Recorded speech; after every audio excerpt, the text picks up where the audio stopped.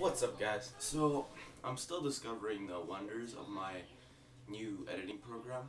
I can edit words like, I mean, like, I could bleep out words like and and it's pretty insane. Also, the I'm not gonna be doing the YouTube video any, anymore. I'm gonna be doing Ki Kids by MGMT, and yeah, I'm still working on that.